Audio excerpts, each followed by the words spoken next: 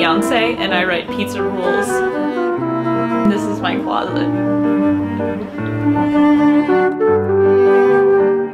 So this is a really weird dress that I got at the store called Dear Rivington um, on the Lower East Side and I bought it when I had some champagne and it looked really cool when I bought it but I can't figure out how to put it on now so I've had it for like two years but I've never worn it before. This is a suit that my mom bought in France in the 90s. The last time I wore it was to a conversation on estate planning at the Metropolitan Museum of Art. So these are Dries Van Noten um, shoes. They're probably my favorite shoes because they have this cool hologram heel that's really awesome.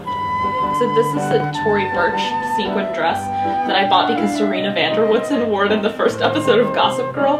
These are um, Manolo Blahnik velvet mules with a giant weird gemstone on them. So basically what they look like to me is like some Amish person was taking inspiration from their typical Amish footwear on their Rumspringa in which they decided to become a very glamorous footwear designer. This is a suit that I bought from J. Crew collection and I don't think you were supposed to wear these two things together but I got really into pantsuits in the fall, I guess because I moved to the Upper East Side and a lot of really awesome women wear suits here.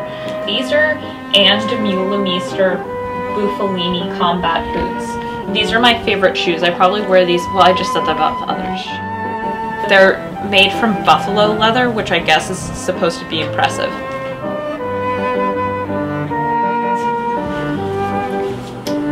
Hey, I'm Rachel Seville and I write Pizza Rulez. Thanks for coming to my house.